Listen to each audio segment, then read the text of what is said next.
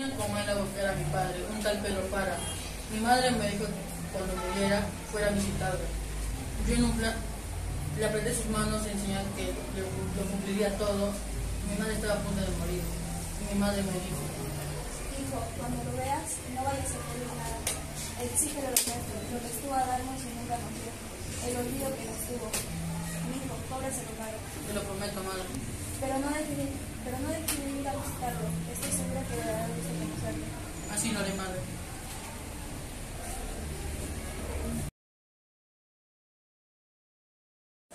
Luego de que Pedro prometiera a su madre en el lecho de muerte que sí visitaría a su padre, éste emprendió el camino en el desierto hacia el pueblo llamado Comal. Oiga, señor, ¿usted conoce un pueblo llamado Comala? Sí, señor, para allá mismo voy. ¿Se puede saber a qué viene a Comala? A buscar a mi padre. Ah, se alegrará de verlo. ¿Y qué aspecto tiene su padre, si se puede saber, señor? No lo sé, no lo conozco, solo sé que se llama Pedro Páramos. Yo también soy hijo de Pedro Páramo. Ay, también, ¿quién es él? Es un rencor vivo. Luego ya está al final. Y mira al otro lado, toda esa tierra de allá se llama Media Luna. Ahí nació un petate. Bueno, siga, voy, bueno, voy para allá. Siga su camino. Oiga, señor, ¿usted no será un hospedaje donde puedo quedarme? Abajo del puente busca donde lo dije de agua. Dígale que va de mi parte. Soy Abundio. Abundio. Abundio Martínez. Pero, señor, ese lugar no parece desierto. Es que lo es. Ahí no vive nadie. ¿Cómo? ¿Y Pedro Páramos? Pedro Páramo murió hace muchos años. Yo lo maté. Pedro, este, Juan Preciado, decidió ir al hospedaje que le recomendó Abundio Martínez y encontró ahí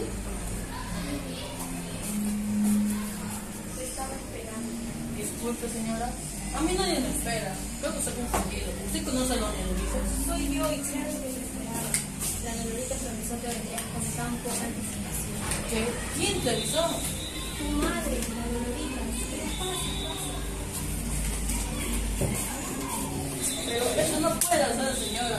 Mi madre ha muerto. Con razón su voz se oía tan lejana. ¿Nunca te habló de mí? No, Éramos grandes. No, señora. De usted supe por el arriero que me trajo acá. Un tal Abundio Martínez. Ay, bueno de Abundio. Buen hombre era. Lástima que se quedara sordo. Pero el que yo conocí escuchaba muy bien. Ha de ser otro entonces. Además, Abundio Martínez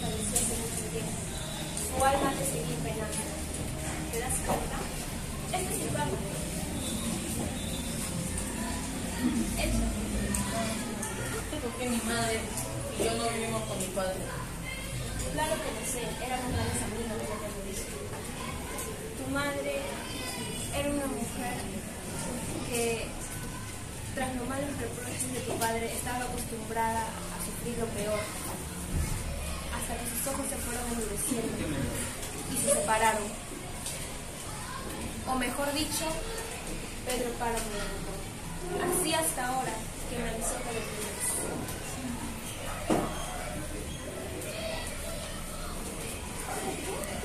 Tengo miedo.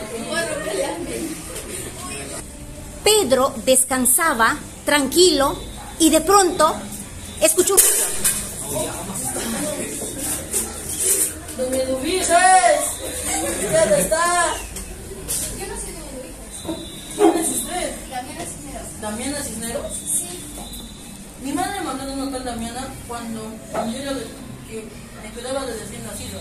Ese fui yo. Me dijeron que estaba y vino a ofrecerte pasar a casa para que no Ah, pero ese rito el que me despertó. Hay un grito encerrado en este cuarto, nada más aquí. Aquí holgaron a una mujer hace años. Nadie entra aquí. Desde entonces, ni siquiera existe una llave para esta habitación. No sé cómo podía entrar. Doña Luisa me habló. ¿Qué nada? Sí, ella. O pobre Luis, todavía sigue penando. Penando. Sí, penando. Debe ser un alma, debe ser un alma en pena.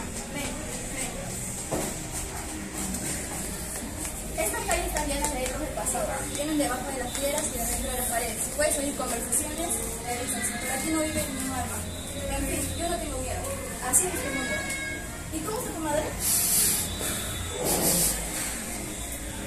Mi madre ha muerto. Oh, cuánto lo siento. ¿De qué murió? No lo sé. suspiraba mucho, de tristeza, no sé. Pero dime, usted debería saberlo, ¿no? ¿Cómo iba a saber yo eso? No sé, como usted supo que yo había llegado, Damiana, dígame, Damiana Cisneros, usted está muerta, Damiana Cisneros, ¿usted está? En otro espacio del pueblo, Pedro Páramo tenía una conversación o discusión acerca de sus asuntos económicos con Fulgor, su mayordomo. Pasa, por favor, y sabrás pronto que yo soy el que sabe. Siéntate, dame una paja. Como tú quieras. ¿Cómo anda aquello? Mal, no queda nada, hemos vendido el último ganado. ¿Y por qué?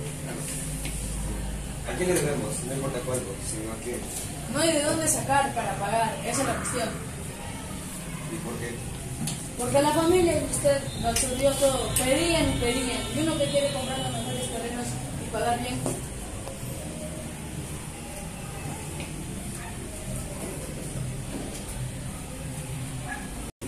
¿Cómo cree eso, patrón? Eh, mañana arreglaremos sus asuntos. Bueno, dime cómo va con el asunto de tu Andrés. Está liquidado, patrón. Solo queda la cuestión de aquellos. Deja ese asunto para otro momento. Estoy muy ocupado. Este pueblo está lleno de ecos. Tal parece que estuviesen encerrados en los huecos de las paredes, debajo de las piedras. Cuando caminas, sientes que te van pisando los pasos. Escuchas gritos y crujidos. Esta escena les hará comprender en realidad en qué momento murió Pedro Páramo. Vengo por una ayudita para mi mujer. ¿Quién eres tú? Soy Pedro Páramo. Todos somos hijos de Pedro Páramo.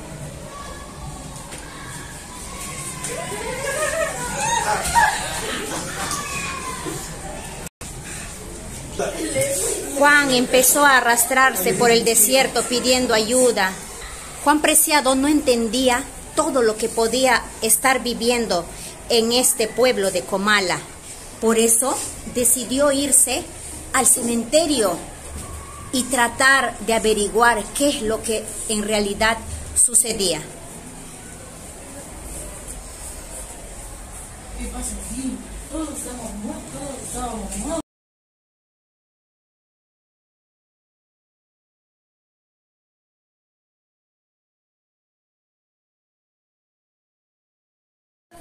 Un resumen sobre el tema principal de la obra.